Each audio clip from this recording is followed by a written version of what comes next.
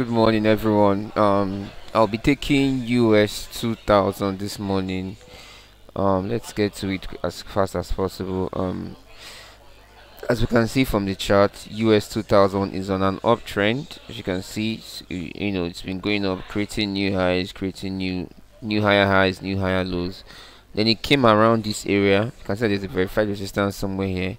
It's been going up, and it came around here, and there was a bit of um, a retracement you can see that. So um the uh, the NFP on Friday no not the NFP so there, there's a bit there was a bit of retracement. Came up and then it came down. And then it's trying to push back up right? Like I always say I like to um, look at the um, um, know what the trend is from the 4 hour time frame and then go to the 15 minutes time frame to enter my trades right? So look at it on one hour as well.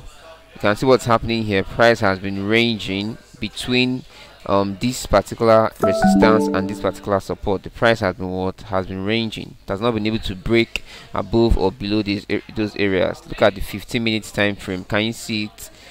Price has been going up and down between this verified resistance and this verified support this area. Price has been going um, like I said around this area. You can see it's been going up down up down up down right? So um we are waiting for price to break this resistance this resistance here. Waiting for price to break this resistance here and go up or break this support here this area this support here and then go down basically. So um what what are we looking at? We are looking at um, entering a buy if price is able to break above this verified resistance. Now there are two things like i always say. You can have break or you can have break and close. You can have break or you can have break and close. So if, if price can break up break and close above this verified resistance you want to go for a buy.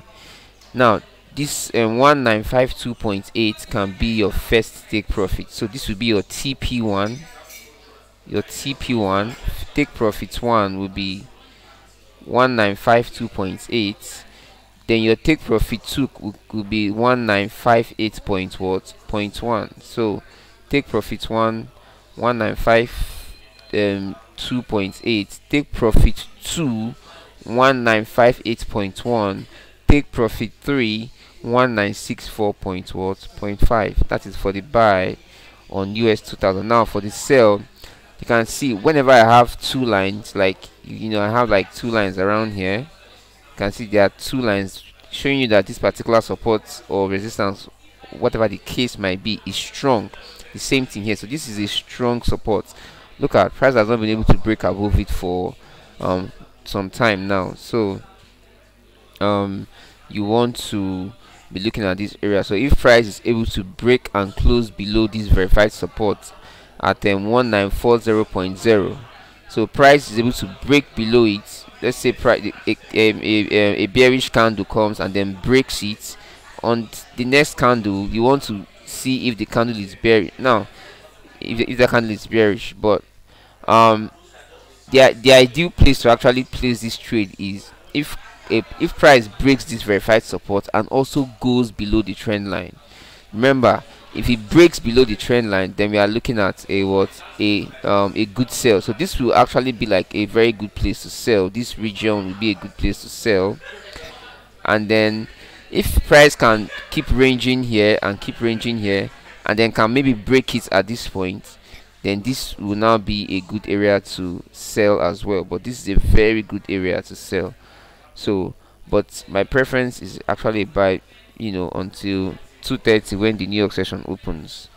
Um you can take advantage and make some money for yourself. If you have any questions just let me know. Thank you